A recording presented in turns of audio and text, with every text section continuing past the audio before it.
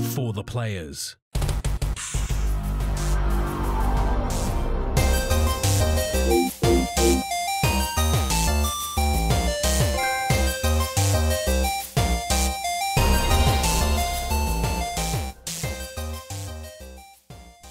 I'm Ryan Betson.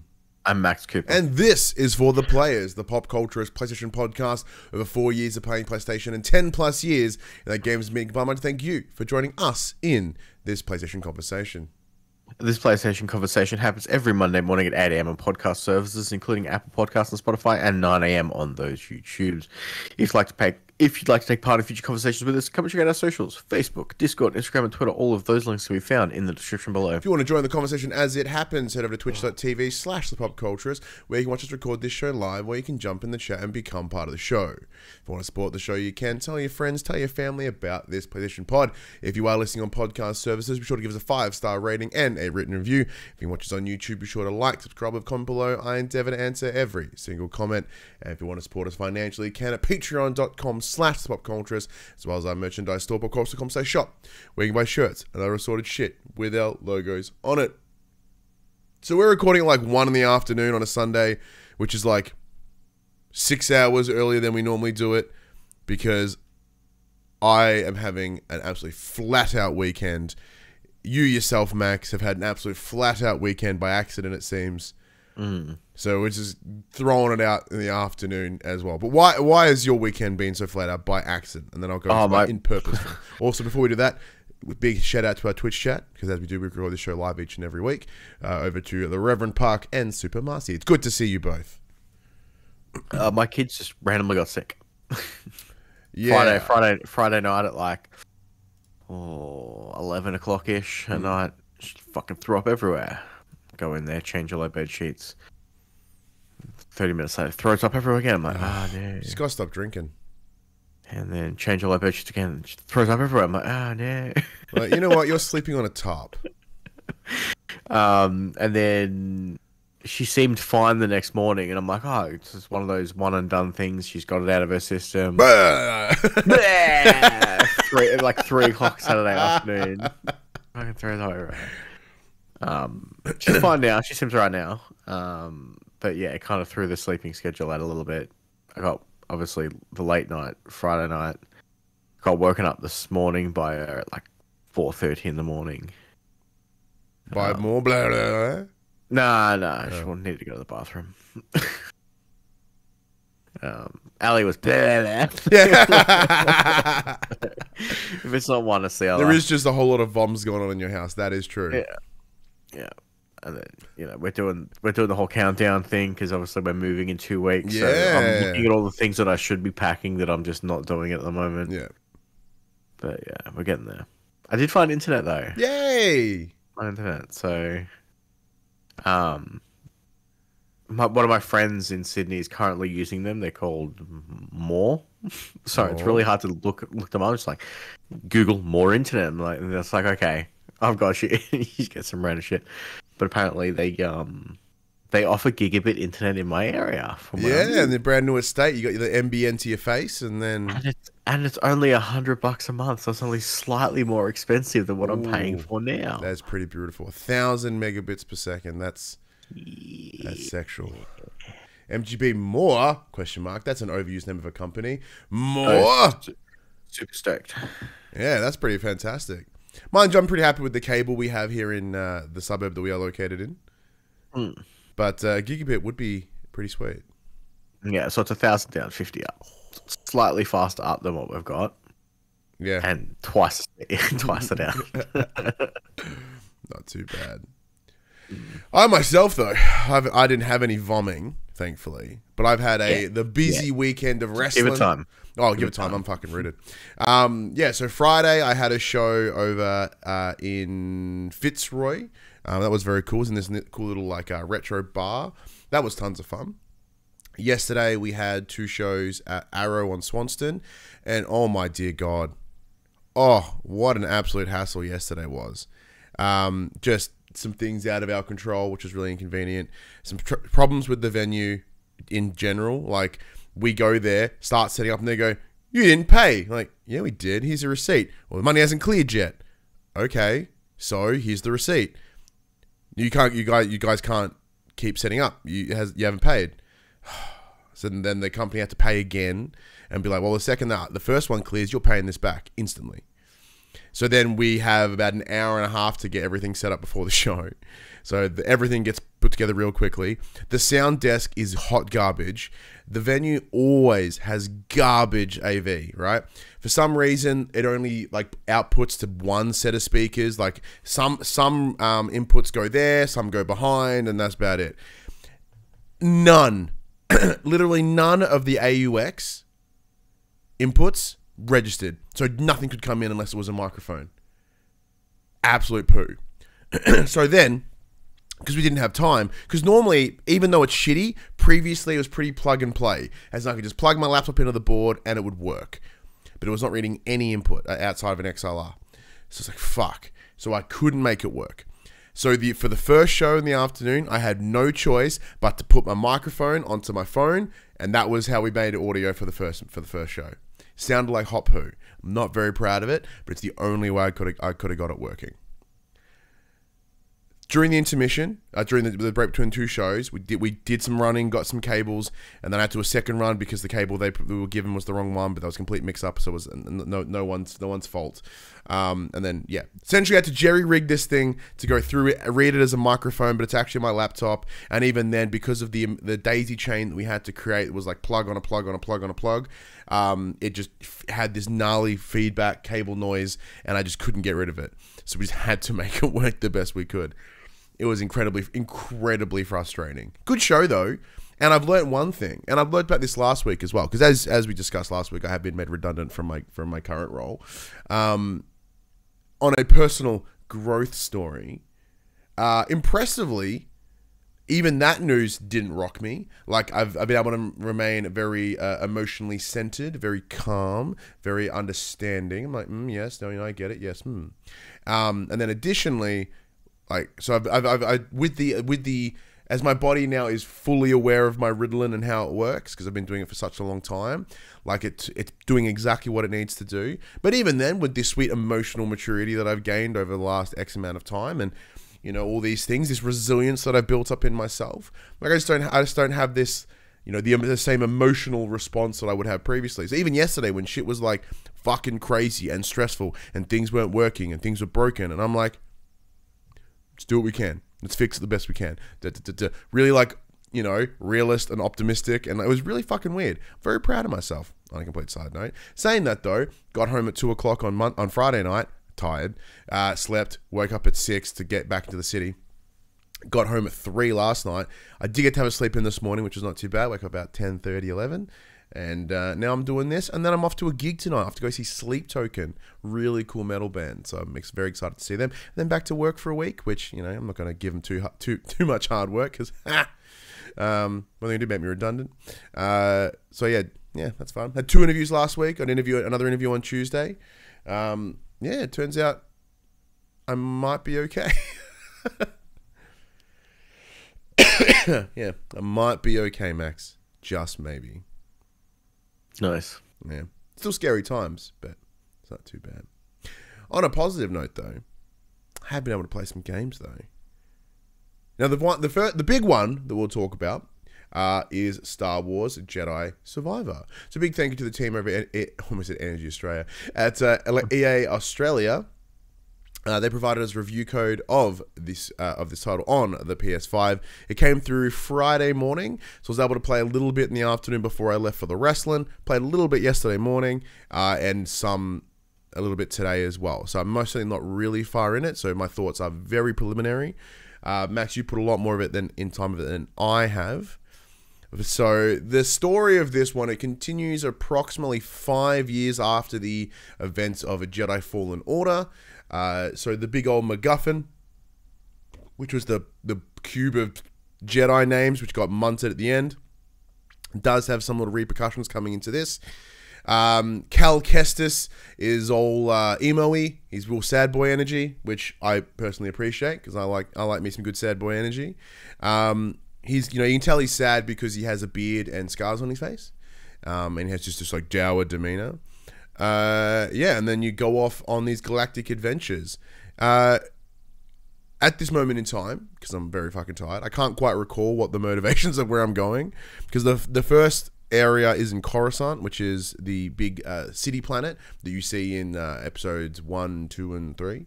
Um, which because this is set between the events of three and four, I love it because it gets all these little uh, nods and homages and references to the prequel trilogy, which many people hate. Which you know, a lot of people turned around on it now that the, that the sequel trilogy sucks so much bumhole. Um, but yeah, I've always been a bit of a mark for the uh, for the prequel trilogy. So to go to Coruscant and then go into like the slums of it and see the Jedi Temple be all you know drabbed in uh, in Empire shit and it's it's it's pretty cool, pretty cool. But I, what what is the main story beat? I, I, for the life of me, it just it's not coming out of my brain. My brain. Uh, one of the one of the senators in Coruscant has That's right. um fucking essentially the military data that Saw Gerrera wants. That's right. That's right. Yeah, that's that's pretty much. Yeah, remember pretty Saw much what- Gerrera was part of it. Yeah. yeah. So Max, you got a kick out of this because of its um you know Dark Souls light uh, combat system. Yeah. And I've, I got a Um, kick out of it for the Star Wars. So how are you finding it- this it's one? Hmm. funny. So I've always said I'm not a huge Star Wars guy, except when it comes to the Star Wars games. I'm a huge fan of the Star Wars games. Turns out, just doing cool lightsaber shit's cool. Yeah, it is. Uh, this does what every sequel does, and to a degree annoys me. Um, you spend a whole game playing as this character, leveling him up, making him stronger. He's gained five years of experience, but forgotten how to do everything. Yeah. No. Yeah. All those stances that you learnt in the first game, don't worry about them. You get Yeah. them. Thankfully, you get them pretty quick here. You do get them pretty quick. So you you start off with the single blade and the and the dual blade. Uh, you don't get the two blades until like to like about half an hour in. So you get it pretty quickly. Yeah. So you, you come in with the single blade, and then you, you get the double, the, the Darth Maul double end. I want to say double ended, but that sounds sexual. Uh, the the du- and then The you staff. the staff, and then you go into the dual wield. Um, a little bit Yeah. later, but thankfully you don't like in the first game. You had to go like find a table later in the game, and you might miss it. You got to kind of go sideways to get it. But here it's just like it just happens throughout the first like forty five minutes of gameplay, which is He really totally good. remembers he's able to do it. He goes, He's like, oh yeah, he, goes- he holds it and this." then goes, "Oh yeah," and just remembers there's a whole other side of it. but there's like, at least from my memory, there's a, a very different skill tree here than there was previously. yeah. Yeah, which which I which I already like because yeah, for I myself like I'm using a single blade and the dual wield. You know, the single blade is a really good balance sort of uh, setup with you know good defense, good attack. The staff or the you know, setup is really good for defensive um, play, and then the dual wield is really good for like super attack heavy. So for me, I find the balance of the single and the and the, and the dual wield the best for how I want to play. So like especially with as a Jedi, I'm like want to fucking run in and lightsaber shit and just deflect bullets occasionally, but. I'm very aggressive, very. I run Um, this. I run the exact same setup as you. I run single and dual. Yep. Never use single though. but kind of just exclusively dual. But um, I'm kind of spec into at the moment. Um, I'm spec into uh, mind trick, yeah. and I have mind trick mastery, so I can pretty much do. I can pretty much mind trick anyone except for black bosses. Yeah, you're just like this is. I'm not the droid you're looking for. Like, you're not even. You, Yeah. Yes, you're not a droid. I'm like, ah, stab. The- just like get that guy. but yeah, so I'm I'm only on the second planet. I just got to the second planet. Um, You're about to. You're almost finished the second one, aren't you? I'm almost finished the second planet. Well, what I believe to be almost finished the second planet. I could be I could be horrendously wrong. I've played for about two and a half hours, three hours. Um, I'm enjoying my time so far. The combat's still fantastic. Uh, it has been improved on since the first game. The the story's getting there. It, it, it's a it's a slow start, obviously with a five year uh, jump. Uh, I'm playing on performance mode. Me too. Yeah. So what? So I have I have had noticeable texture pops. yeah. So well, why not, Like we'll discuss this. hardcore noticeable texture pops. So there is a lot of conversation going right now around the performance of Jedi Fall, uh, uh, Jedi Survivor. On PC, it's fucked. Just It's because it's running Denuvo. yeah, it's just collectively fucked. DRM bullshit. Um, Where on PlayStation 5 at least, it's not as gnarly, but it's not great. So well, there's, there's been a few comparison sites that do um, comparisons between the three systems, yeah, uh, that being PC, Xbox, PlayStation. Uh, PlayStation 5 is the most stable. which makes sense, is what I'm seeing. So Yeah. for myself, I I do get frame drops. I had a couple in some cutscenes. I'm getting a lot of screen tearing, especially up the top of the screen, just that uh, sort of judder. So looks, so I think there's a lot of frame timing sort of problems. Um, very similar to yourself, like there is a bit of pop in, obviously playing in the performance mode. I haven't tried it in the in the visual mode, um, simply because this game, the way its combat works, you want the double time in the frame hmm. rates. So I'm not going to go to the quality. I'll stick solely on performance. And Buddy, Buddy Watts in the chat says console greater than PC confirmed, and I think it's very interesting. There was a time where the console ports were the fucked ones, and because everyone was everything was spec to PC and then moved over to console. It seems like it's going the other way. It seems like everyone's specking for consoles, and then the port to PC sucks bum. You're a PC person. What do you think the fucking problem is? There- There's just so much variation variation on a PC. But hasn't that always been the case like, though? like that's the that's the big issue at the moment. But um, from what I've seen here with Jedi specifically, it's a big. The, the issues are on people running multi-threaded systems. Mm. Um, seems to be the the real kicker. Um, and then you've got like you know, let's take um, because I obviously got a new PC a couple of months ago. Good. Let's let's take um, Last of Us for instance. It uses almost no CPU usage, but uses way too much virtual RAM on your GPU, so it just sucks it dry. There's no balance; it's all or nothing on either one or the other, and they need to find some kind of, kind of balance. Now, obviously, there's something going on because this year I don't think we've had a a, P- a PC launch that's been favorable to anyone. Yeah, because yeah, looking you're looking at the last major, you know, last handful of major AAA releases on PC that are cross-platform, and yeah, it is. It's a rough space to be in. So Well, you know, as MGB in the chat, was Forspoken broken at launch, Wild Hearts broken at launch, Yeah. Hogwarts Legacy broken at launch, Wo Long was horrendous at on PC at launch, Last of Us broken at launch, Yeah. Jedi Survivor broken at launch. because yeah, uh, MGB in the chat here says, "I'm starting to wonder if spending thousands of dollars on a PC for games isn't worth it," and I would kind of agree. Now, uh, mostly because I don't play a lot on PC anyway. Like my PC is super fucking old. It's a first gen Ryzen. It's a 970 graphics card. Like it is fucked. Like my PC is so old. Like it doesn't run a whole lot because I don't play a lot of games on it. I would like to upgrade it. I just can't justify the costs. And I have a console. That's where I get. That's where I play my, most of my games. Where I get most of my games. So I don't really think too hard about PC. So I'm not the best audience t- to have something to say around um, around that. But you know, you spent you just spent a chunk of change, but you. Your, you you did because your PC fucking died. So it's very yeah, different mine, between mine blew up. I, uh, yeah, yeah, you didn't upgrade to then play for more games. You just bought a good PC because your other one shat itself. yeah. But like, like it, for next week, for instance, like Redfall. I know Xbox game. Hmm. Redfall's launching next week, and there's a few of us who are interested in playing it, and we're like, do we get it on Xbox, suffer through the 30 frames, or do we Yeah, yeah. risk the PC download to see if it's slightly better? well, it's on Game Pass, so it don't matter. yeah. Um, That is the one advantage of Game Pass, I guess. But we'll, Yeah. oh, we'll have more to say about Microsoft shortly.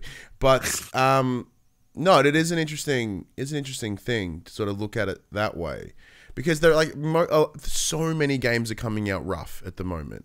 Um, just a collectively. Now, I do think a lot of it is post-COVID hangover, as you know, a lot of these games were made during isolation and you couldn't all come together and do stuff so that does slow down the production and with the seeming pressure to get it out when you say you will which is good in some ways but bad in another way I don't know. In, in the, you know, in the history, uh, like in the last few years, there hasn't been a problem delaying stuff. yeah like that but like it's not ready. Just don't like. it's yeah. But the difference here is, like, yeah, you can delay things. I believe this is this game was was delayed as well from memory. I think a lot, a lot because of the nature of the way games have been made in the last couple of years, there is a sort of foundational problem mm. because a lot of those key early starts, like when everything starts, it is such a heavily collaborative experience. At least my assumption is that with the restriction on people not being in the same space, the skeleton of these games are having problems. Now, granted, using you know back to full uh, to Survivor, Fallen Order had a rough PC run too. Um, the console from memory ran pretty well um, on PS4 at least from from once again my my untrustworthy memory. Pardon me, but it's also you know would delaying it longer have helped at all? Like I know that there was a substantive day zero and day one patch for the game, um, and f- from what I heard, the big one of the big patches was a concern as it may just entirely wipe your save file. So any any of the pre-release players did have some concerns around possibly just losing everything, which is it's interesting. But yeah, apart from minor graphical problems um, and some stuttering here and there, which I I certainly hope things that can be removed. Like overall, I'm having a still pretty good time with it. Like it's not. Thankfully, it's not let PC level fucked on, on PS5, so I'm still able to play it and enjoy it. Yeah, there, there's a there's a spot that you're coming up to on the second planet where you essentially get a hideout, and there's a door that opens in the hideout into like a, what is what is a sewer system essentially, Mm.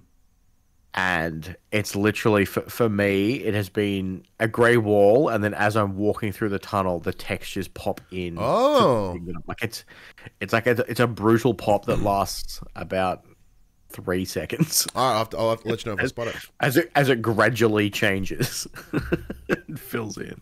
Wow. Um, but again, I think that's the only noticeable one that I've seen.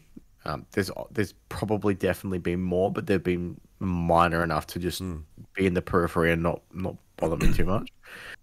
Um, I haven't had any like huge frame drops in in in where it would matter too much, like in combat or anything like that. Yeah. I do think the um I had an audio sync issue at one point in one of the cutscenes. Um, but other than that, it, it's been pretty good. Pretty sure the cutscenes run at a lower. They do. So the, the anyway. frame rate, the, the frame rate of the cutscenes is the 30 because you can Yeah, when they go from pre-rendered cutscene through to in uh, in gameplay cutscenes, like you can see the uh, you- there's a clear Hmm. shift. Like it's almost like it's not quite a hitch, but it's a little bit of it. Like at least for me, it is. But I guess the the jumping from 30 to 60 would appear as a hitch. So it goes. "Junk," and then it kind of goes at that higher frame. I go, ah, okay, cool. And there is that sharp, um, you know, quite a substantial resolution drop. So the things do have that bit of a jank, not jankiness, because it still looks fantastic. There are times like I'm snapping photos left and right of this game, a to make cool thumbnails, and just sort of being like, oh man, this is cool. Oh, cool. You know, like look at all these different things, um, you know, which is which is fun for me, which is which is great. Oh, noob in the chat. Hello, how you doing? I am good, my friend. How you doing? I've been And I had seeing you some- around the wrestle chats. Hope you're doing well. Had some had some slight issues with one of the earlier force related puzzles. Okay. So, like to not no spoilers. Essentially, you you you're doing uh, essential battery swaps to like open drawbridges and stuff, and it was very obvious what I needed to do. I needed to. You essentially have two batteries and three battery points. So the first bridge requires one battery, the second bridge required two, and you had to bring both the batteries across. Um, and you essentially were force pulling and force pushing them into positions once I put the first one in, it's like, hey, I want to force pull this one out of the socket to put it in the other one that I need, that I clearly need to do. And it's like, no, sorry, wouldn't let me pull it out. And then I took one step to the left, and it's like, yep, works now. Oh, oh, you're in the zone. Yeah, cool. You- you- it's like, okay.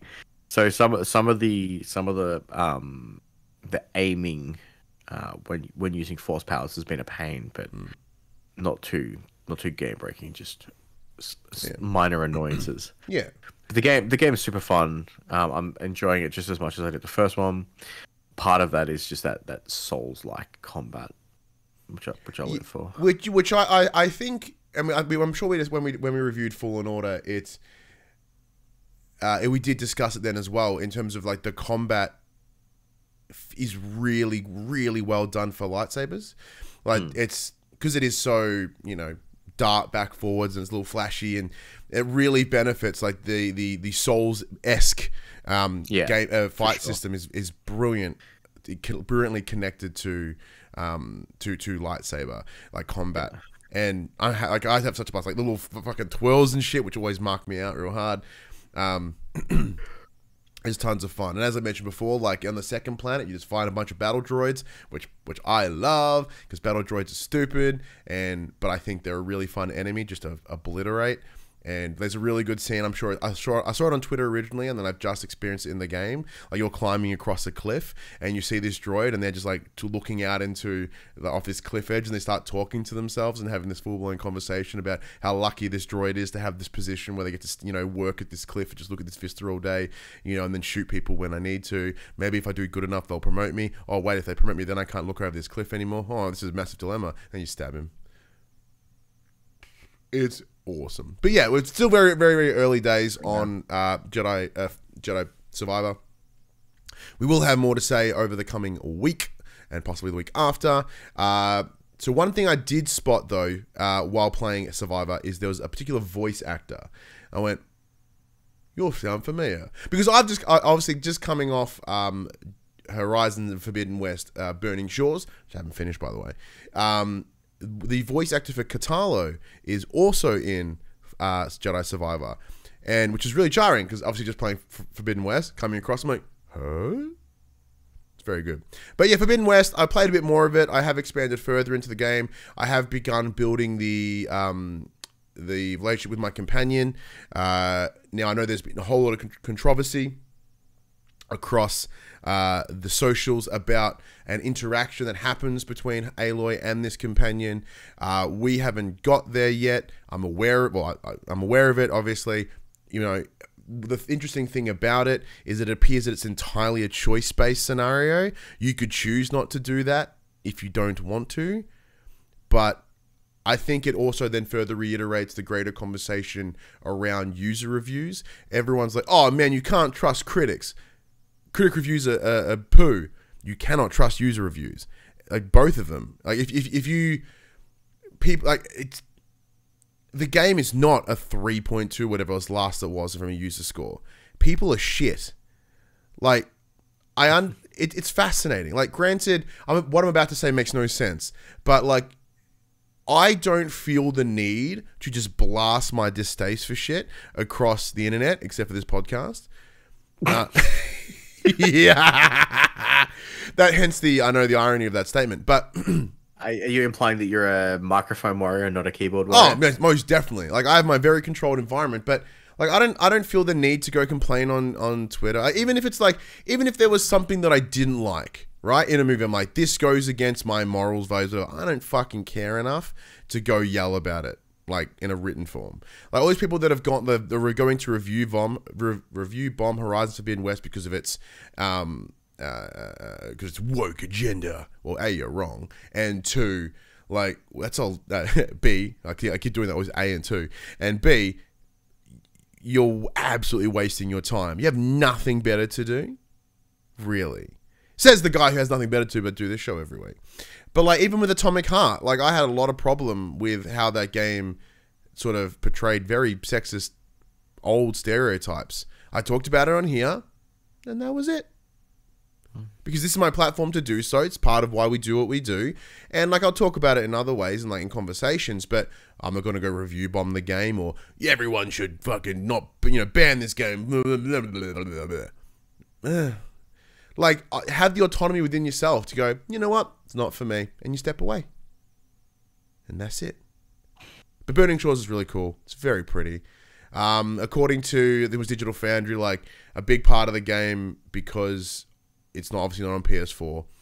Apparently, it's due to the performance requirements of the game. It is very pretty and it runs very well. Um, and it's, apparently, it's the clouds that are what so demanding. Mm. And I guess because you do spend a lot of time flying, because as as as uh, we discussed last week, um, uh, my train of thought.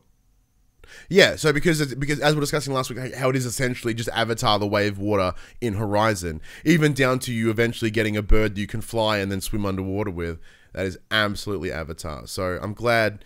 Um, actually, I'm not glad. That movie fucking blows. So I'm a bit disappointed in the direct connection that uh, uh, uh, uh, that Horizon have to that poo hole movie, but yeah, it's still pretty good. You though, Max, how's how's that uh, how's that Final Fantasy going for you? Yeah, so I now have like three creatures left in Final Fantasy One until I hit that platinum. So I will get to that at some point this week.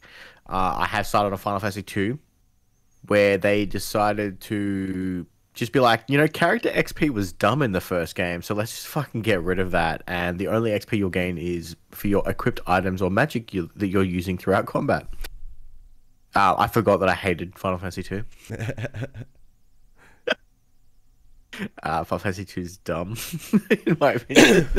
it's, it's one of the weaker of the titles. Um, so I have skipped over most of it. Um, I say that I've played like three and a half hours of it. I think I'm about halfway through. The games are really, really short. Well, yeah, as you were saying, like you kind of forgot how quick old Super Nintendo games are, Yeah. especially nowadays where games are just getting longer and longer and longer. Yeah, for sure. But it's still a solid fucking remaster of these old titles. Um, the first thing I do when I play them though is I swap everything to old school mode, Mm. except for the visuals. The visuals can stay nice and crisp. I don't need the fake the fake CRT lines. but I do love the fucking original score. Yeah. the original music. They like that that sixteen bit. Cr- bloody crunchy sort of, yeah. Cr- Yeah, it's so good. It's so good. Um, and the other thing that I haven't, yeah, I haven't poured too much time into Pixel Master Remaster this week. Um, I've kind of dabbled in two and three. Um, the other thing that I've been playing is Dead Island Two. Yes, yes, yes, yes. So huge shout out to the team at uh, PLAION Australia. I'm still feeling the same things that I said last week. That it, Mm. it just feels dated. That it seems like we're, we're past that. Um, it, it, it has everything in it that those those games had like ten years ago. Mm. but it's still fun. Still fun. Um, I'm I'm an idiot though. Uh, at one point, there's what I felt to be too quick of a flash on my screen to explain that I hold a certain button down to bring up my fucking weapon menu. Because for ages I was running around without a weapon and not able to equip one because I've just I missed the fucking uh the quick notification of just hold triangle, bro, and you can fucking equip any weapon in your stash. So for ages I'm like, how the fuck do I equip? I, I missed the on-screen instruction that lasted like what felt like a split second, and then it's like, you haven't been using a weapon for for ages. Maybe I'll just fucking flash this hot Hey, tip heads again. up, uh, you can use weapons. The whole game's built on weapons. Um, Probably should use a weapon. So once I worked that out, which is you know my own stupidity, I, I don't have weapons again. It makes it so much fun. Um, I'm still very early in it. I haven't played too much. I'm kind of just running around smacking zombies. It's it's just fun. It it's very reminiscent of those games. Is it channeling that sort of original Dying Light energy and love that you had? Yeah, very much so. Yeah, well, I have it installed. I haven't touched it yet myself. Um, I did pick up though. I picked up uh, uh, the DLC for the Cult of uh, Cult of the Lamb. So Massive Ah, yeah. Monster have released some uh, free DLC, which if you had finished the game and 100% of it, like I had, uh, it essentially adds a whole bunch of stuff. So you get uh, new uh, new followers, like new follower visuals, which is great. Uh, it also essentially re-steps all of the the uh, bishops. So you meet this new big god thing who's like, "Hey, fight them all again and give me their shit."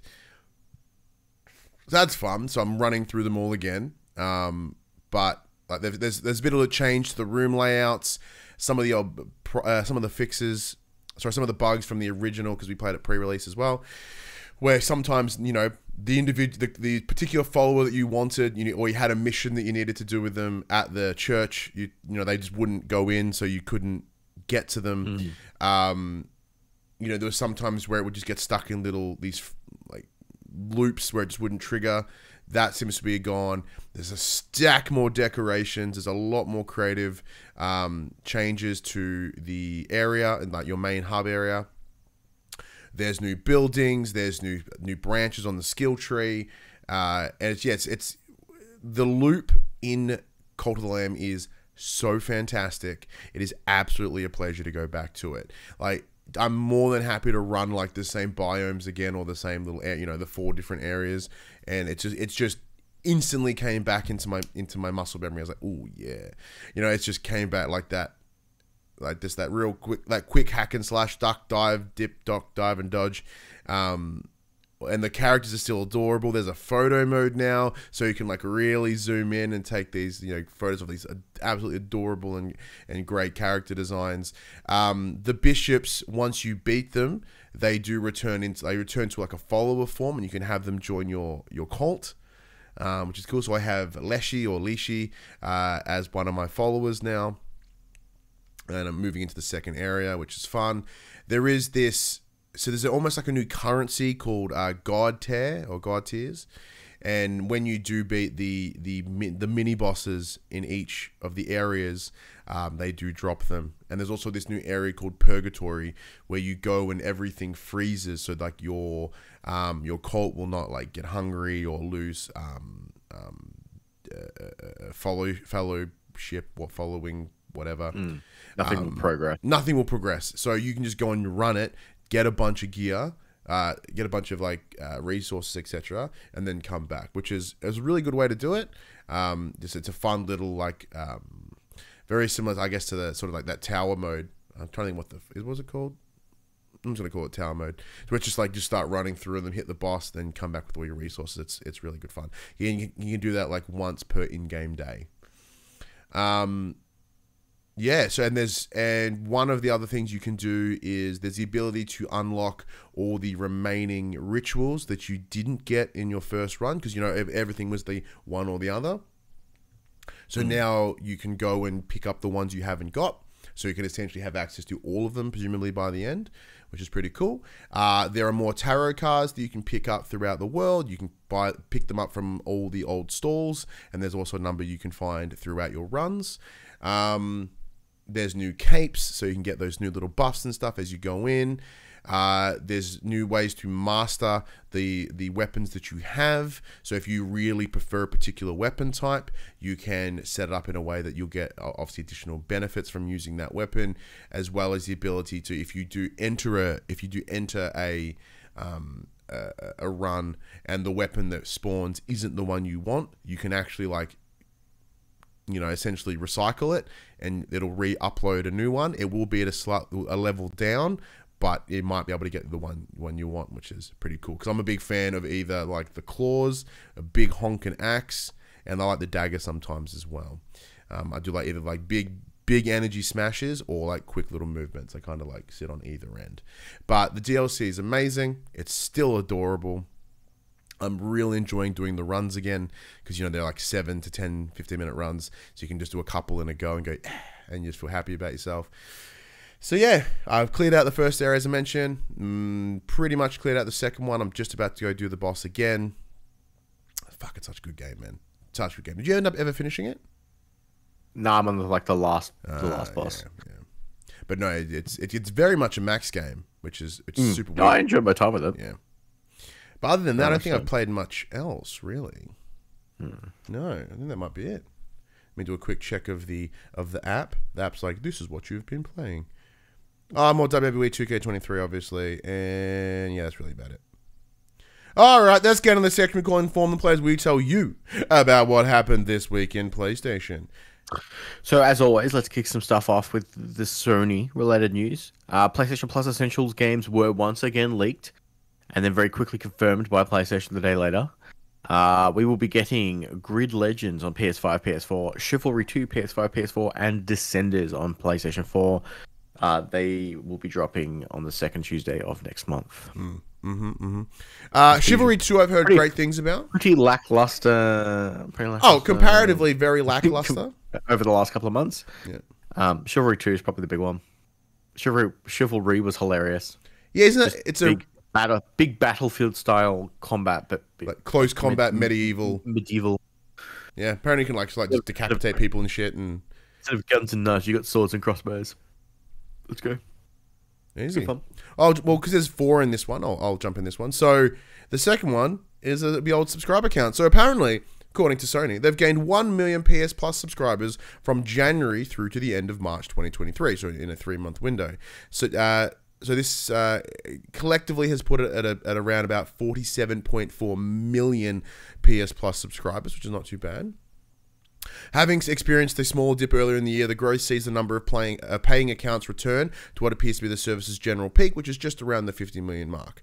It, it has never gone above 48 million members, according to Q3 of fiscal uh, tw- year 2021. So it's around about where it normally sits, which is good, as in it's not you know dropping too hard, but it's bad because it should really be ideally increasing, but you know, it's it's pretty good point. And uh, as Buddy Watson in the chat mentions, console sales are going up, which as does add to the next piece of news, and then we'll talk about the both.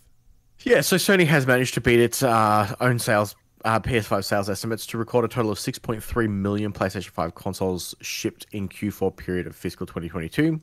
In terms of revenue, this makes it Sony's best ever fourth quarter earnings, beating out the same period recorded last year. Yeah, so to coincide with these two things, with everything requiring PS Plus these days, plus the you know the essential games, plus the new deluxe and extra tiers. So anyone that's picking up a PS5 now, I'm pretty comfortable that like they're casually sort of players, I guess. Or, oh, I forgot to put in the chat. Don't uh, put in the the news doc. Don't forget that the PlayStation Collection ends in like a week or two. It does. So if you have not claimed those games, please claim those games. mm. Um, yeah. So for those that I think anyone that's picking up a PS5 now is likely a little bit more casual, quote unquote. So the idea of the PS Plus uh, uh, uh, extra or deluxe tiers might be of benefit to them. So like as you and I, because of the nature of what we do, very rarely are there any games that come to that service that we haven't already played or experienced. So we go, eh. But anyone that's coming on board, like they just buy a PS5 and they go, oh, hang on, look at all this. Like my stepfather just bought a PS5 and he's utterly blown away. I think extra is the tier that that's the sweet spot. Though. Yeah, deluxe is really not necessary Del- here. Deluxe is very much not worth in my opinion, not worth the money that. Yeah, that it, most definitely not. Um, they're really not supporting like the old the classics as much as they should, and with the, with our lack of PS Now um, online support, so we don't get any of the PS3 titles, which are the ones that I probably want to play more than anything, which is a bum. Uh, but yeah, no, it's certainly good that they're still moving a lot of units. It's very, you know, we, we discussed this as well as a lot as well, and Buddy might be able to help this out. Like there, there seems to be a lot more active movement of PlayStations than there are Xboxes at the moment, um, or at least in a recorded standpoint. So Microsoft haven't actively disclosed their console numbers in what feels like a quite a while. Um, now, obviously, with their focus to be more around Game Pass, which even then they don't disclose those numbers as a lot either. It is interesting to see that there is such a movement on PS5 where you would think the appeal of something like Game Pass would help move more Xboxes. So Buddy confirms, at least from their experience in, in their industry they're a part of, uh, massively and for some time. I'm not quite sure what the ratio is, but I did see, I think it was Japan, where there was like 400. I'm, I'm slowly, highly exag- uh, underselling it. There was like 500 Xboxes sold in the in this particular month, but there was like thousands of X, of PlayStations. Yeah, but it's it's it's really, I mean, Microsoft has never been correct. Oh, yeah, no, no, it's it's very it's very much a very specific slice of the pie where yeah. Xbox like it was part of the reason JRPGs never, never really had a lot of run on um on uh, Microsoft consoles is because that the, the demo is just not that supported. Like no one yeah. really moves. Microsoft doesn't move the needle for many people in that space. Um, but we're we'll be talking about uh, Microsoft in just a second. But before we do that, uh, Twisted Metal got its first release, tra- uh, first teaser trailer this week. So it is uh, launching July twenty seventh. It is coming to Peacock in the US, but it is coming to Stan here in Australia, I believe. Or was Binge? No, I think it was Stan. I think it's coming to Stan. The bin- binge is HBO, so Stan might. Yeah, I did. I one. did get tagged in a in a thing about it on the Facebooks. Let me have a quick squiz. It'll it'll tell me in just a moment. Uh, please hold. But uh, Well, while you're while you're looking, this uh, it was totally Stan. it was totally Stan. Yeah, Okay, cool. well, which, Um, which yeah, is not bad. 10, 10 30 minute episodes with a with an action comedy vibe. And Anthony Mackie. Yeah, look, I'm. I have I have zero fucking interest in this. Yeah, look, we'll watch it. Mean, we certainly won't be doing the more the players weekly deep dive on it. We might do one for the pilot, and then maybe a se- and then probably likely a season conclusion. Um, but yeah, the only thing that gets me excited, is MGB points out in the chat, uh, Samoa Joe is the bo- as the body for Sweet Tooth. But then you've got um, the dude from uh, Arrested Development, um, the guy doing the voice. Um, you're not helping me, Max. No, because I don't watch Arrested Development. Fuck. Uh. Oh my god. You're sitting in front of a computer. you Yeah, no, but it's it's more like it's more fun faster. to to like push it out of my brain. It. Uh, what up, nerds? Hey, uh, Craig. um, yeah. Either way, so it's got him in it as well, which is interesting. I'm not like he's he did Batman in Lego Batman. Um, You talking about Will Arnett? Will Arnett. There we go. Yeah, Will Arnett's doing the voice of Sweet Tooth. So it's just all right, cool, whatever. Um, yeah, I'm really not excited for this show. I will watch it purely for the benefit of, purely for the show purposes. Yeah. Uh, it'll most definitely be the third in the most, you know, in terms of PlayStation Studios produ- like productions. Well, PlayStation productions. You know, you got Uncharted and Last of Us and Twisted Metal. Last of Us number one, Uncharted number two. I haven't even seen Twisted Metal yet. Pretty sure it's already going to be three. With utter Bold, confidence. Bold claim. Bold claim. Yeah. But look, we've made some bold claims in the past, Max. As has Microsoft. They have been making the absolute boldest claim that, like, this ABK deal is going through un- no questions asked. They've essentially spent the better part of the last year just telling us everything about what their plans are for when it goes through, because at no point it appears that they ever thought it would not happen. And it appears there may be a bump in that roadmap. Yeah, so the deal has been blocked by the UK's Competition and Markets Authority. Uh, and since then, Microsoft has just gone on the offensive. Uh, in an interview with BBC, President Brad Smith has said the move was, quote, bad for Britain and has marked the firm's, quote, darkest day in our four decades in the country. All right. Um, so, with an appeal pending, uh, analysts are insinuating it's unlikely to shift the opinion of regulators. Um, so, Microsoft has turned to heaping political pressure on the UK government instead. Uh, Smith, once again, has said, quote, people are shocked, people are disappointed, and people's confidence in the technology in the UK has been severely shaken. There is a clear message here. The European Union is a more attractive place to start a business than in the UK, end quote. That's a, that's a Uh, big Smith- reach. Smith proceeded to pile on threats claiming that Microsoft could, could reconsider its investment into the UK and added that the country needs to, quote, look hard at the role of the CMA and the regulatory structure. The CMA has disagreed with the quote, we want to create an environment where a whole host of different companies can p- compete effectively, can grow and innovate, uh, and can grow and innovate, Chief Executive Sarah Cardell said. So the big thing here is it didn't get blocked because they were concerned that Yeah, ABK, yeah. Of ABK as a whole, they're like, it's gonna fuck with cloud gaming. Mm. That's the big thing. They're like, they're gonna get King, they're gonna have all this stuff for what already is a what Microsoft already have a great cloud gaming system in place. The Azure, yeah. Like it it works well, it does its job properly, and they're concerned that if they get ABK, there's going to be more content available to them, and it's going to lower the incentive for innovation and um, competition in that space.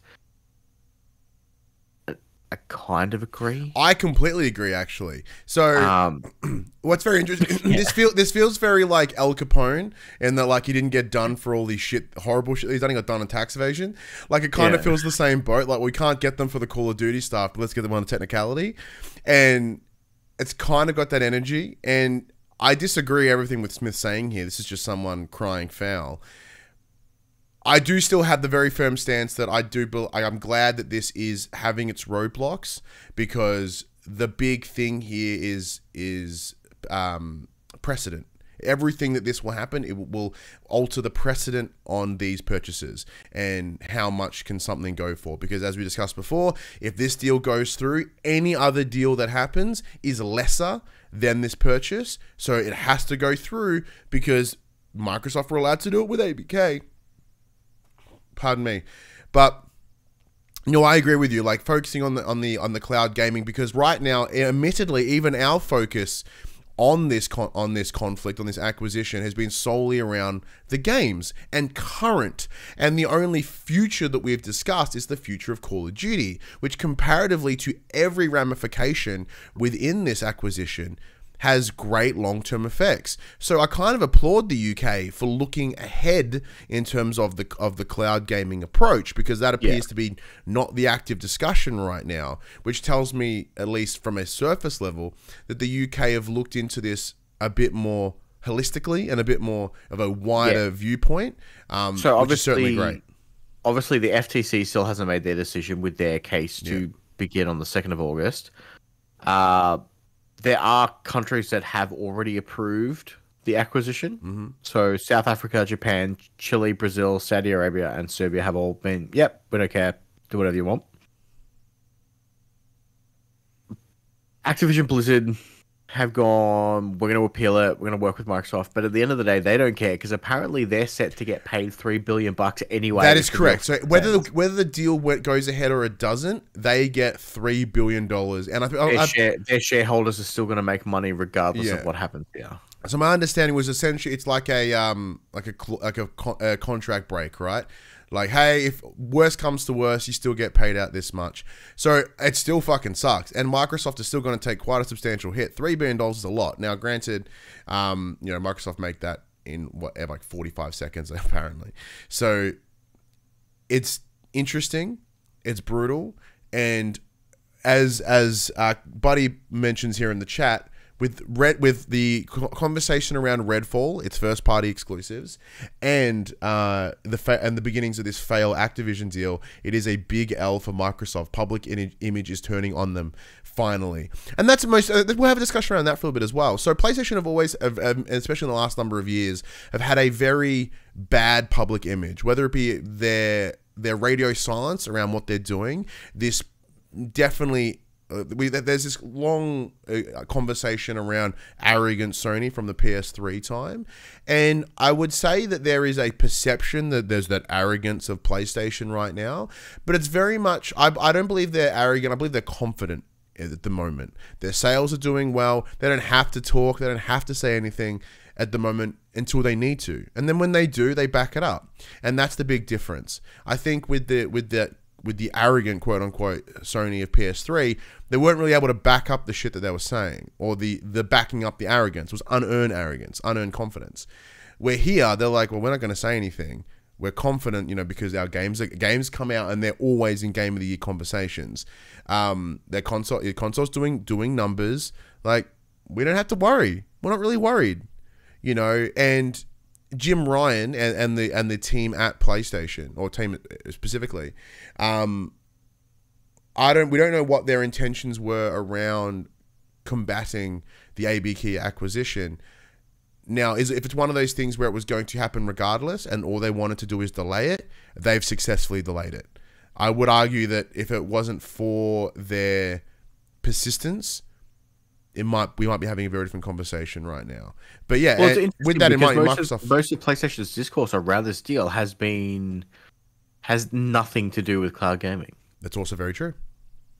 So you know, it's um, because one of the other one of the other things that I saw online was their concern that um, if ABK is acquired by Microsoft, um, they're like Games Pass will the cost will increase, Mm. which makes sense. It's Like, at probably so- should at- probably at should increase now. At some point, it's going to increase. Like Yeah. no one's no one has this idea that it's not going to. Um, but yeah, It- Mm. But what- it- it's it's, it's interesting that that for the last however many months this this since this deal was announced that everyone's big thing was like oh shit call of duty is going to become exclusive and they're just like fuck call of duty and out of nowhere they're like cloud Which tell, which once again, as I That's mentioned, which tells me these regulators are doing their fucking job. Like Hmm. they're supposed to be looking at the entire, uh, the entire transaction and be like, where's the win? You know, what's the pros and what's the cons? And it's very likely that within, you know, within that, this they looked at that and went, hey, look, this Call of Duty stuff isn't the isn't the main point here. And I think because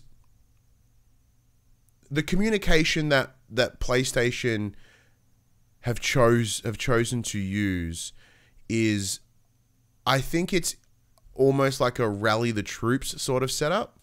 As in Yeah. like they're essentially preaching to the gaming community, the players, because no one outside of gaming gives a flying fuck. And if you tell those gamers that they're losing something, and you know, as we were discussing before, gamers, uh, gamers TM uh, are very loud and vocal about shit that mildly inconveniences them. So if you can rally them behind them and fuel those console wars, then they're going to be at a very clear advantage. And it appears My that un- that's what they were trying to do. But thankfully, the UK saw through that and attacked it in a way that even I hadn't considered.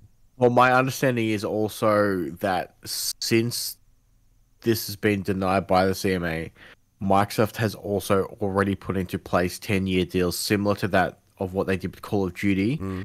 They have done that with other cloud services for their titles to still appear on their services as well as their own. Yeah. Okay. Well, there's, yeah, like- there's a well, lot of concessions that Microsoft have had to make. They're like, they're like, well, it worked for COD, so it, it should work here. So Yeah. to add to to add to what my point was around the the the marketing, uh, the the, percep- the public perception of PlayStation, Microsoft really kind of since like Games Pass has become a very prominent thing, is they have had a really relatively upbeat and positive perception, as in you know that their entire gimmick at the moment is we're about the players. We the decisions that we make is about the people that come in, and you know it's it's first. It's offering service. It's offering all these different benefits to the user. I would, I think a lot of that, yeah, I said at the time it was based in potential. Oh man, the, the Games Pass has great potential. It's all this, and all these acquisitions could really deliver some great games. But what we're seeing in actuality is subpar gaming experiences. We're having games that, yes, many of them were in production prior to the acquisition into the Microsoft um, party structure. They have still not delivered. We talked about Redfall, right? You know, it's it's currently not performing to the like what should be the standard on a next generation console. Um, Halo was a hot mess. Outside of that, they they really like any. Pardon me. Outside of Halo, Microsoft have failed to deliver any first party title that was developed entirely within their first parties. So the releases that they have done so far, whether it be the likes of Grounded, um, Pestilence, whatever it was, whatever that one, um, uh, uh, uh, uh, a Hi-Fi Rush, and now the, the impending Redfall, the impending um, Starfield, all of them were in production prior to the, their their their connected studios purchase. So like it, it does kind of look like a, a interesting mismanagement whether before they came in on board or during uh, th- their their ability to walk the walk is is failing behind their ability to talk. What's your thoughts max Um, yeah, no, I, I agree with I agree with what you're saying. It's just they seem to be stuck, and un, and they they they shit creek like a paddle type situation where they have no idea what they're doing, and instead of trying to work on themselves, they're doing this bring other people in who already have a reputation. Now, granted, lately ABK hasn't had the greatest, um, but they're turning shit out, at least. Um, so they're just they're just trying to put more numbers on the board. Yeah. So What it feels like. as Buddy mentioned in the Buddy What's in the chat mentions, they did remove their one dollar trial for Games Pass, get that one month for dollar, which people exploit the living fuck out of. So Yeah, that makes I mean that's been, that's also been running for what feels like years. Yeah, yeah, it feels like a very, very long time. Uh, and they've also added they do have poor they have poor studio management. They need better actions than just buying what already exists. And we've discussed this previously at length. Um, and I think this is probably one of the biggest biggest fall points here is that Microsoft's entire what appears their business model is buy someone else's successful shit and then kill it by accident, just by, by poor management. And it feels that like this is really starting to bite them in the ass. Like there was enough it feels like there was enough time prior where like it wasn't as noticeable. Like, oh, okay, well that's a bum. Because like I don't feel that outside of like uh, Forza, there really hasn't been a super strong first party release. Like nothing that's that's you know rocked the world in any way, which is very concerning in general. And then you look over at PlayStation's approach, which is buy them when they're small, or actually let them do a test for us. We'll work with them in a capacity for say a year or so, and then if we like what we're doing, we'll pick them up, we'll support them, and go from there. And we'll let we'll have the studio grow within us, so they match the culture, they match the the, the plan, and it all comes together nicely and with a big bow on it. Where yeah, Microsoft seems to be having the opposite approach as we've discussed before, where there's let's just buy big, and therefore it's part of us, and we did none of the hard none of the heavy lifting and then failed to keep it lifted. Uh, MGB does also add what, mine, what, what uh, would Minecraft Legends count? As that has been in development for a little while. It has been in development for a little while, and Mojang is uh, uh, an Xbox studio, and they have been for quite a while. Um, then I, I would, it's interesting. I would kind of consider them in the same space as Bungie with PlayStation, is that they still have the intent to release on multiple platforms, so they're not a first-party exclusive um, development studio, but it's it, uh, I, it'd be it'd be incorrect of me to say that that shouldn't be part of the conversation. And from my understanding, is Legends is okay. No, I'm not. A, I'm not a fan. I'm not a fan. I have a Dungeons was meh, and um, Legends has been the same level of meh for me. yeah, yeah, interesting. Uh, Buddy also adds, uh, look at Disney. They brought Fox, own everything, and just churn out stuff that is so mid. And that's one of those things. Like when you, it's they're spread too thin, and Microsoft might be in the same boat. They're like they poorly manage the small amount of studios that they had. They get more of them, and it's just you've, you've only got so much you can deliver, just so much energy to expend, and now you've got that same amount of energy over more places. What are you going to expect? And it is the the prop the other problem that uh, it, it, the the Disney example is they're trying to, to squeeze more blood out of the same stone, but but because of the I think the gaming industry has this in some way, but not quite the same. The essentially the pump and dump approach of I'll, I'll be back in a second. that's all right. Essentially, the pump and dump approach that Disney have been using, as in just pump out stuff, stuff that really doesn't have any legs to it, has no long term benefits. Let's just put it out there and we'll never think about it again. Right? It's essentially what, what's been happening. They're like, ah, we'll release it. Cool. Very, it, it feels like there's this weird nothing has legs anymore. Like I, you know, there's like series that come out and you go, oh, okay, and then you never think about it again. Like you know, I feel like there really hasn't been a strong series. Of, I think The Last of Us is probably the most recent example that has like had collective monoculture um, appeal. You know, like Game of Thrones did it until it fucked itself. Like Breaking Bad, uh, Lost. You know, like all those sorts of shows where they really controlled the narrative or controlled the conversation across what felt like collectively everyone. Where the nature of streaming services has really altered the delivery method in terms of well let's just make something that's that's let's use the stand this this the standard true and tests right? Have it be connected to something that you grew up with. It's nostalgia it's characters that you remember no new. They try to remove as much heavy lifting from it as they can and then try to deliver it and go hey consume this and then move on to the next thing. Because even the MCU like it's lost every movie felt important. Every every piece of the puzzle building up until uh, Endgame felt important. Like you really felt like you pro like you need to watch it to get the overall experience. Where now there's so much, it's all mid. There's really no drive. Like it doesn't have that blockbuster feel for everything and I do think the nature of you know binge watching and all these things have really had this. We're beginning to see the the long term impacts of that. Where I myself, I really love the week to week approach. I love watching it, and then I'll come back to the week later. You know, because I like pondering on it for the week. I like having those conversations. And I'm not a big fan of sitting there and watching something for nine hours. I, my ADHD doesn't allow me to do that. Um, so I'm not the best target for the Netflix model. And even Netflix is stepping away from the Netflix model. I'm really derailed here into discussion around subscription and TV, but the point I'm sort of making is like the approach has, has been altered. You know, the the demand on a quick turnaround on a game is part of that, and the expectations have only gotten bigger when resources have lessened, time has lessened, but you know the demand is is, is ever ever growing.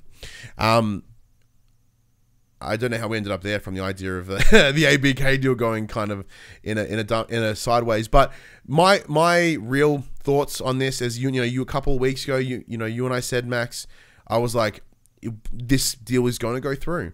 Like I felt like I didn't want it to, but I felt very confident that it would happen. I, I still think it can. Me too. There's I, those I just, variables. I just don't. I just. I think Microsoft will have to jump through a ton of hoops. Yeah, and if that if that's once again if that was what Jim Ryan and the team's approach was, create enough concessions that they essentially give them enough rope to hang themselves, they may have they may have won.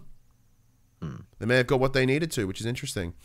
All right, let's get into the quick bits, and we'll wrap this bad boy up soon. Uh, quick bit number one. Speaking uh, as part of its earnings call earlier this week, uh, it was said that, quote, PlayStation were planning to release a major title, Marvel Spider Man 2, this fiscal year, and we remain to continue growing, creating new IP, rolling out catalog titles for PC, and strengthening live service development. So, not a whole lot there aside from the further confirmation that we are getting Spider Man 2 between um, March to March, I think is how Sony used their fiscal year. Uh, so it doesn't change, just means it's coming yeah. this year, and September is still on the plan.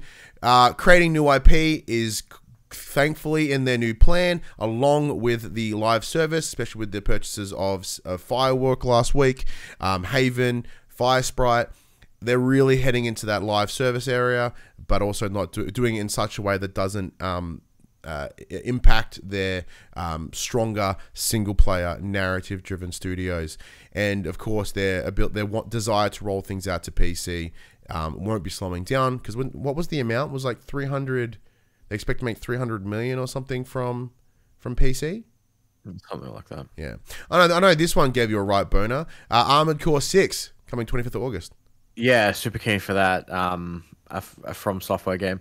Um, From Software also made a in an interview they were talking that um, they want to make more cool games more often. Mm, mm. Um, apparently, they're in a space to be able to do that now.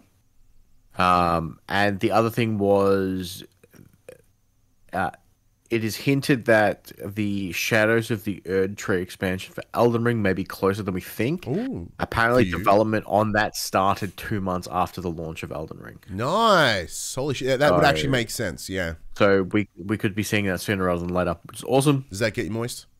Yeah. Uh, Armored Core Six. Um, I, I, failed to realize that the, the Armored Core Five came out in 2013 on PS4 or PS3. Mm-hmm. It has been quite some time. It has been a while. This. So I'm super keen for this. Yeah. Um, but that's ages away. Yeah. Um, this week doesn't have many games coming out. But thing thing about like you know you're interested to see how Armored Core Six turns out. I am so curious to see how this turns out. Yeah. So this week the upcoming titles are Age of Wonders 4, PS5, 2nd of May, Death or Treat, PS5, 5th of May, and Hogwarts Legacy, PlayStation 4, fifth of May. Ooh, boy, that game is going to have some load screens. Can't wait to can't wait to mm. see some Hagrid PS1 style. Oh, it's going to be rough. And then, and then, oh no, the Switch version's in June, isn't it? Switch version still another month and a bit. Yeah, man. Yeah. It's just going to be get progressively shitter, which is the part that interests me the most. It's like, you know, it was the PS5 version was pretty cool. PS4 version pretty gu- you know, pretty mid. Switch version hot garbage. And I I cannot wait to see that rapid decline. But once again, that that game is going to be one of the best selling games of the year. And with this essentially staggered release, they're going to guarantee that they will make sales for the remainder of this year. It will be one of un- unquestionably one of the most successful games of this year. Oof, rough for those that fought against it, I guess. But you know, that's capitalism, I suppose. Uh Max. Well, that does bring us to the end of the se- end of the show. Big thank you to everyone for coming uh, and listening to the show, taking the time out of your your day, your week, your life to listen to me just rant shit and Max go. Yeah, it's about right. So That's about right. Yeah. d- it is fun. We do really appreciate you taking the time, and especially to those that do come and join us over on Twitch, even though we never really stick to a regular schedule. So we absolutely do love to see all these familiar faces come up and join the chat. And as we are approaching, ra- rapidly approaching episode 300, Yeah, when is 300? Because I have a feeling that might be the weekend that I'm not here. Mm, let me have a squeeze. Let me look at my folders. Let's see episodes, ongoing shows for the players. Uh, it is so. This is episode two nine five. So it'll be five weeks away. So episode three hundo will release. What's that? Two nine five there. Six, seven, eight, nine. It'll be June the sixth. Uh, no, wait, Monday, June the fifth. Well, that will that will go live, Yeah. which actually makes a lot of sense. I'm pretty sure we started in June, like five years ago, or 300 episodes ago. Hmm, well, there you go. So yeah, first week of June will be episode 300. Uh, hopefully, we'll have a cool, you know, a cool showcase, something to talk about in that time. Um, yeah, it is very hard to believe I've done 300 episodes of this bastard. Um, at least for me. You've done 200? 150? 100 and a, 100 and a bit, yeah. Yeah, you've done quite a lot. Um, and yeah, and I'm sure I'll get all uh, reflective on it uh, come 300. But you know, it is still this is the longest running show I've ever done. Um, like my the first run, first podcast I ever did made it to 100 and something. Um, the the show, the pop culture show, made uh, just under 100 before we transitioned into a different model. And yeah, no, this has been one of my long my longest running things I've ever made in my entire life. And thankfully, I still enjoy it each and every week. I still enjoy, you know, interacting with all you that listen, watch, and comment. And I also enjoy doing it with you each and every week, Max. It's been absolute. Uh, it, it's continues to be an absolute pleasure um, to to watch you. You know, just fill in for Josh, and then go, hey, you want to do it on ongoing? You're like, yeah, sure, why not? And you know, just to see you step up and grow, and you know, get just get better and better each time. And you know your your your newness to the industry still uh, invigorates me in a nice way. Even 150 something episodes later, you know you don't still haven't got that cynicism. It's um Yet, I'm getting there. it's yeah it's it's it, it's It's hard. It's really hard not to. it is. It does get harder and harder. But no, we do really appreciate everyone that takes even like a minute from their day to to listen to to what we do and, and what we have to say. Like we we understand that our audience is very small. Um, we understand that we're a niche within a niche within a niche, uh, and we don't market ourselves well or any of those things. So the fact that we do have individuals that are happy to return each and every week, uh, leave comments, discuss, it's um, it's very very appreciated. And it also helped because I totally used it in my interviews this week. Um, and it's actually been a great selling point because a lot of the jobs that I've applied for, uh, there is a lot of front facing networking and performance in terms of, you know, giving events and all these sort of stuff. So I've been able to, I've been really lucky to be able to use, use, use this as uh, an employable selling point. So uh, I can never uh, undersell my appreciation for all of you. Um, I really can't, especially in a time right now when I when I need it. So thank you. All right, Max, let's send him home. All right, everyone, you know the drill. This PlayStation conversation happens every Monday morning at 8 a.m. on podcast services, including Apple Podcasts and Spotify, and 9 a.m. on those YouTubes. If you'd like to take part in future conversations with us or have any suggestions on topics, come and check out our socials Facebook, Discord, Instagram, Twitter. All of those links can be found in the description below. If you want to join the conversation as it happens, head over to twitch.tv slash spotcultures where you can watch us record this show live, where you can jump in the chat and become part of the show. If you want to support the show, you can. Tell your friends, tell your family about this PlayStation Pod. And if you are listening on podcast services, be sure to give us a five-star rating and a written review. If you watch us on YouTube, be sure to like, subscribe, leave a comment below. I endeavor to answer every single comment. If you want to support us financially, you can at patreon.com slash the popculturist, as well as our merchandise store, popculture.com slash shop, where you can buy shirts and other assorted shit with our logos on it. But until next week, I'm Ryan Betson. I'm Max Cooper. And that was for the players.